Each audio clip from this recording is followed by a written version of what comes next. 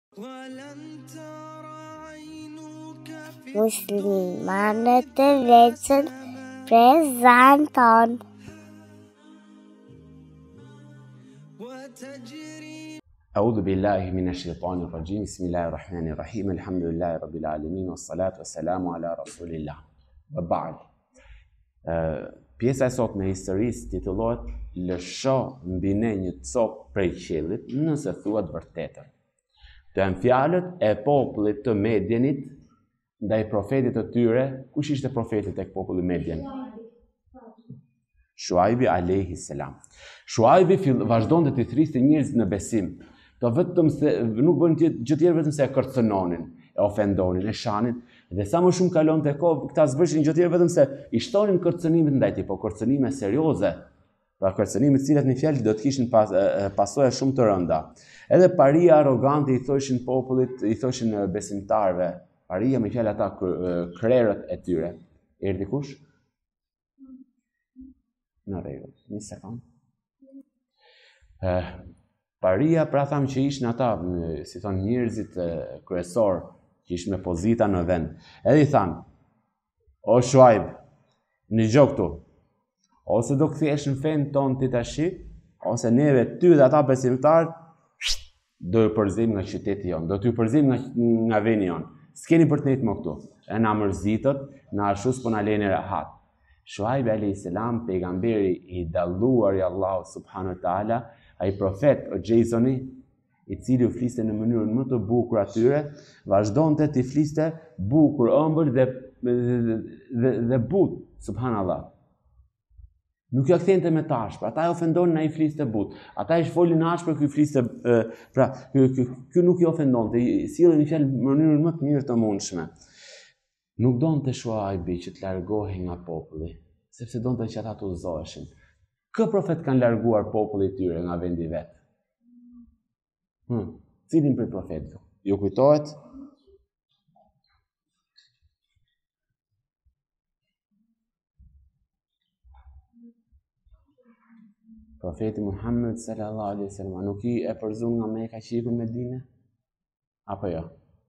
Se ka dy të përzënë, ka me thonë hik, mos të shoh më këtu, ka edhe ta bëjnë jetën aq të vështirë sa të detyrojnë ty që të hikësh, ama të dyja janë përzënie.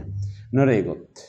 Fillun tash me fjalë, se fjalët e Shuajbit po e irritoshin shumë parinë. Edhe fillun duke shpifje, po jo vetëm të shpifnin ndaj tij, po edhe ta sfidojshin atë. I thoshin, "Ah, ti s'je në terezi, ti, ti je magjepsur, ti s'je fort në terezi nga trutë." O Shuaib, u fund e ti vdekatar porsi puna jen, joni, janë kutë nuk është i, i përjetshëm. Me qëtë pra po i thoshin kujdes se po të kërcënojmë me jetë. Ndërkohë nga ana tjetër, i thoshin, o Shuaib, je kokrra rrenacakut. Ata ishin, shiko, ata vetë ishin rrenacakë. Ata vetë ishin mashtrusa, madje madje edhe krenoheshin me njëri-tjetrin. Po për ta ulë, profetin, sepse din që nuk e donte gënjeshtrën, i thoshin atij, ti je gënjeshtar. Pra, që dikujt t'i thoshin, ti gënjen, u ça gënjeshtar që je ti more, si arrin t'i gënjesh kaq shumë, kurse me profetin e Allahut, ti je gënjeshtar. Pra, atë e lavdërojshin, kurse këtë e bëshin vetëm, vetëm që ta përulshin dhe ta ofendonin, subhanallah. E fillun, në rregull, o Shuajb, a pretendon se ato që thua janë të vërteta, meqë Zoti yt qenka kaq i plotfuqishëm, ja, ja ku na ke. Ja ku na ke këtu. Na hidh një copë nga qielli, të na mbysi, të na vrasi. Ka fuqi Zoti jot. Po të kena mërzit, na na le rahat. Subhanallah. Eh, ky ishte sinjali i parë. Asnjëherë nuk ka ardhur ndëshkim prej Allahut vetëm se kur vetë populli ka kërkuar ndëshkim. Si kanë thënë, nuk, kanë thanë na sill ndëshkimin e Zotit. Dakord, dhe, e, e, dhe subhanallah e sillshin, ia kërkojshin në formë sfide profetëve. Arë, pra, nuk i thoshin, po na dëno Zoti jot, po në qoftë se Zoti jot është aq i aftë, le të na dënojë neve. Zoti dënon, dënon, por, se i mjeri ti kur vjen dënimi i Zotit. Uh, Shuajbi i paralajmëroi edhe për herë të fundit. I tha o populli im tha, do ta mësoni se kë gjen një hall. Si thon, um, bëni sa mundni, po unë do bëj sa mundem, ama në fund fare do ta shihni se kë do të zëri dënimi. Kam frikë se ka për t'ju zënë një dënim goxha i rëndë, ama pritni se edhe unë kam me prit me ju. meqë qenka puna kështu. Në fund fare, ky pejgamber i mirë, lutet kundër këtij populli zullumqar. Shiko ça lutje që është, është lutje shumë e drejtë. Si tha, o Zoti im, gjyko drejt, nuk tha gjyko për ne, se ne kemi të drejtë. Tha, o Zot, gjyko drejt mes nesh dhe popullit tonë. Se ti je gjykatësi më i mirë. Kërkonte drejtësi dhe në gjykim. Edhe pse subhanallah, një fjalë, normalisht do i takonte Shuajbit alejhi selam, gjithë e mira, po prapë se prapë kërkoi drejtësi. Shiko çfarë natyre e mirë dhe e pastër që ishte ky pejgamber i Allahut subhanahu wa taala. Do të fillojnë ndëshkimet tash. Populli i Shuajbit, populli i Medjenit, është dënuar me të kundërtën e popullit të Themudit. Më fal, me pop me të kundërtën e popullit të Adit. Si u dënua populli i Adit? Me çfarë? Kush e kujton dot? Me çfarë e dënoi Allahu i lartësuar popullin e Adit?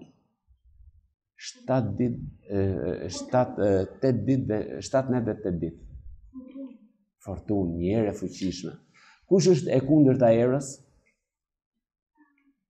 Ndalon era së fryri. Dakord? Në rregull. Ëh, zonën e Medjenit e kaplon një thatësirë që s'e kishte zënë kurrë më përpara. Një thatësirë që s'kishte qenë kurrë më përpara. Përveç kësaj, era ndaloi. S'frynte më fare, fare, fare, fare, fare, fare. Kur fryn era sikur të freskon pak, ndoshta sjell një re, dhe ose diçka të ngjashme. Aty as edhe një gjethe nuk lëvizte më nga veni. Çdo gjë sikur kishte, Mishel, sikur kishte ngrirë në kohë. Madje madje, subhanallah, edhe era ndaloi, asgjë nuk lëvizte dhe vet ajri sikur ngriu.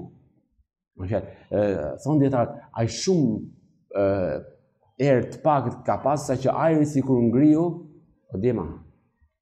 Dhe qimësi.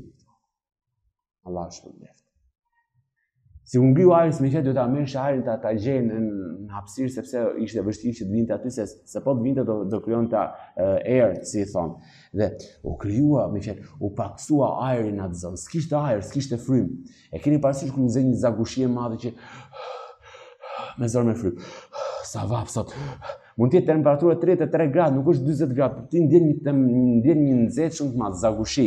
Kjo është kur s'ka erë dhe kur s'ka oksigjen dhe ajër. Subhanallah. Në rregull. Dhe problemi është atyre nuk ju vinte dot në ndihmë as hija dhe as të freskuarit me ujë. Pra, rrishin në hije, por edhe në hije ishte vapë. Edhe në hije po t'rrije ishte vapë e madhe. U freskoje me ujë nuk të bënte derman as kjo gjë. Subhanallah. ë Shuaib alejhi selam së bashku me besimtarët ikën i, i urdhëron Allahu i lartësuar të largohen nga qyteti dhe largohen sepse aty do të vinte dënimi i Allahut. Pas disa ditësh vuajtje, siklet i madh shohin diku tutje, ue. Më fal. Ue, një re. Ishte një re e madhe. Hajde tha të gjithë të shkojmë nën hijen e asaj resë. U shkuan të gjithë nën hijen e asaj resë. Nuk ka ngel këmbë njeriu nga populli i Medjenit vetëm se është strehuar nën hijen e resë. E pasi që u fut dhe personi i fundit nën hijen e asaj reje, Dhe aty po si po përgjejshin një çik freski, në ato momente, toka trondit fuqishëm, gjithë ranë n'gjunjë se s'rrishin dot në këmbë, kur një zjarr i fuqishëm dhe një britmë e fuqishme, ra nga qielli. Dhe ua shkuli shpirtrat të gjithëve atyre që ishin aty. Atë ai popull gënjeshtar mashtrues, hileacak, i lig, pengmarrës e tjera e tjera, sapo morën ndëshkimin e Allahut, për se nuk e besuan Zotin, ishin njerëz të këqinj, e kundërshtuan profetin e tyre dhe në fund fare, e kërkuan vetë dënimin dhe ndëshkimin e Allahut dhe i erdhi. Dhe Allahu ia solli dënimin siç e kërkuan. A nuk thanë na sill një copë, na na zbrit një copë nga qielli, ha? Reja ishte një copë nga qielli. Paf! U zhduk si popull dhe subhanallah. Ndërkohë që ë uh, Shuaibi bashkë me besimtarët u, u larguan dhe tregohet se shkuan në Mekë, ku qëndruan dhe atje dhe Shuaibi teksa po ikte, kthehet dhe i thotë popullit vet, o populli im, ju solla shpalljen e Zotit tim. Edhe ju këshillova, prandaj pse të hidhërohem për popullin, ë? E pafe.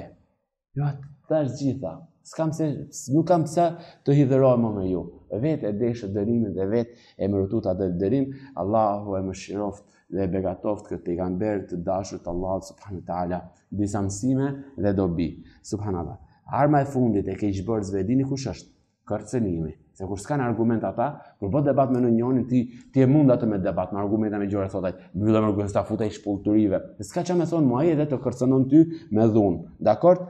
Uh, Allahu ja sjell uh, popujve dënimin ashtu siç e kërkojnë, për me tregu se edhe ajo çka vjen është me qenë për me tregu me qenë argument për vërtetësinë e profetëve. Pra, se ky dënim ju erdhi prej Allahut, ashtu siç e deshën. Asnjëherë nuk ka ardhur ndëshkimi i Zotit, derisa popujt e ka kërku vetë.